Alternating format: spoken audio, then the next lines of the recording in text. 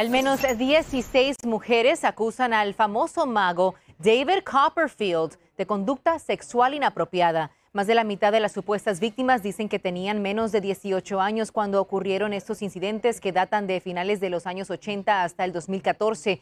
Así lo revela una investigación del periódico The Guardian. Las acusaciones en su contra incluyen afirmaciones de que drogó al menos a tres mujeres antes de tener relaciones sexuales con ellas. Los abogados de Copperfield aseguran que todo es completamente falso y afirman que el ilusionista nunca ha actuado de forma inapropiada con nadie y mucho menos con menores de edad.